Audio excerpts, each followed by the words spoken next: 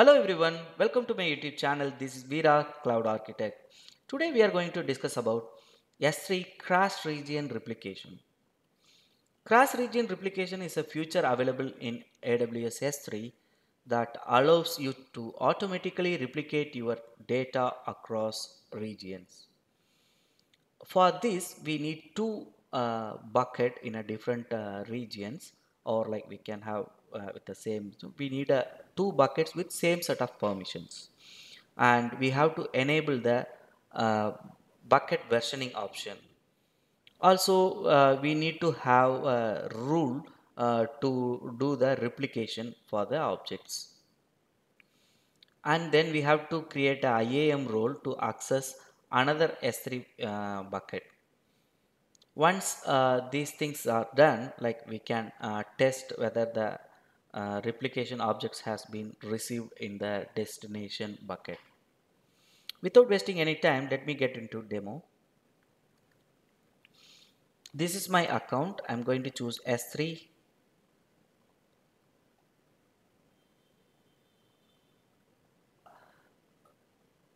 i have couple of uh, buckets. So in this i'm going to choose this bucket as a source bucket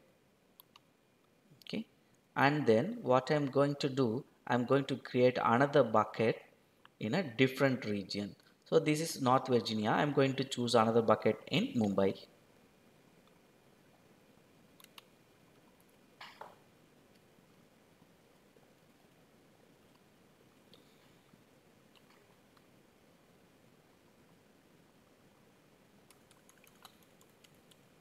So I'm going to give a replication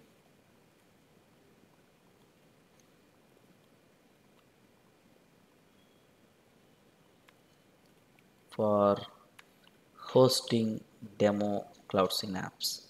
This is going to this is going to be by uh, bucket name and I am choosing a AWS uh, region called Mumbai.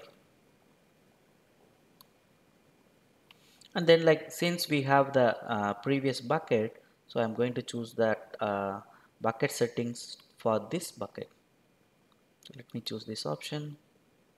Choose bucket. So I have got the same access to the uh, destination bucket as well. So I'm going to acknowledge this and then the versioning is enabled already. So this is what I have discussed in the earlier uh, slide. So we have to enable the bucket versioning. That's all. Rest all the setting is as it is. I'm going to create a destination bucket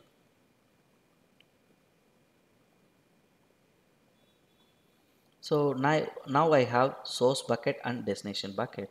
So this is my source bucket right? So I'm going to create a cross region replication in on my source bucket. So my source bucket has already one object. So uh, now I'm going to uh, go to like management. In the management we have replication rules. So we have to create a rule for replication create replication rule and then give a name for it. I'm gonna give a replication rule.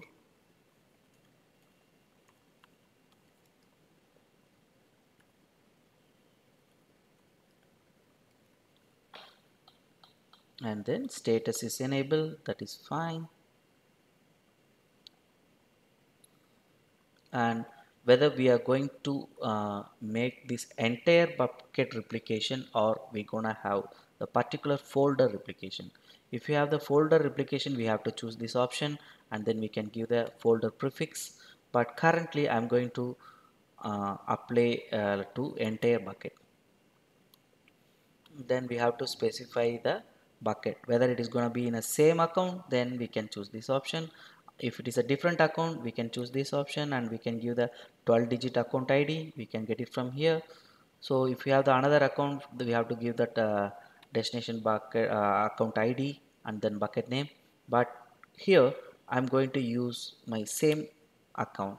So i'm gonna choose the choose a bucket on this account. And then browse your s3 bucket. So this is going to be my destination bucket. I'm choosing this. Choose the path so that's all. So now I have to create a IAM role. If you have already IAM role we can uh, select this option to uh, choose the existing. Otherwise we have to create IAM role for this. Just give a name.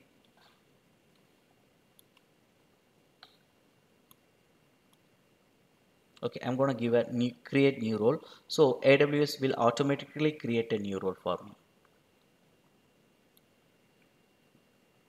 so that's everything. If you want to do any encryption on destination side we can choose it. Otherwise like whatever we have the storage classes we can choose that option. Otherwise we can leave it as it is. So far now I'm going to leave rest of the objects like you know rest of the uh, options as it is. So here like you know there are few more options like uh, replication time control. Like we can make a bit faster. Otherwise like you know if you enable this it will be like you know very faster so and then we have a delete marker option and uh, replica modification syncs those options are available but I'm not going to choose anything for now. Just save it. So my rule is created. Now I'm good to do uh, like you know replication. So here the final option the are you going to add the existing object? If you say no then uh, this replication will happen uh, like whatever we are doing after this. Otherwise like uh, like if you choose s like what are the uh, objects available earlier that one also will be copied. Okay so i'm going to uh, copy this object as well. So the previous objects as well. So I'm choosing yes replicate ex existing object. That's everything. And now I'm gonna give save.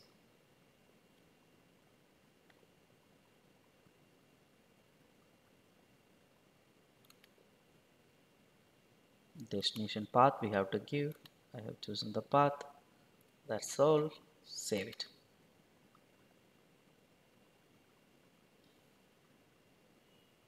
So the replication is ready now. Now let me quickly go to my destination bucket and check the object whether it is received from source or not so let me go back s3 sorry let me go back to the s3 buckets buckets and then I will show the destination bucket. So because since like we have chosen the normal option, it will take little time to uh, upload the files. So I'm just refreshing.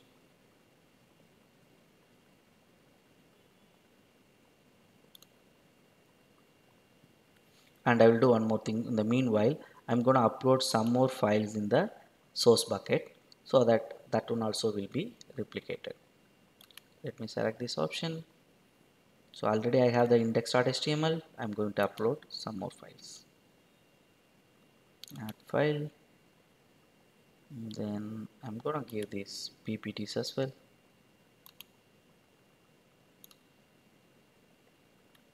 Upload.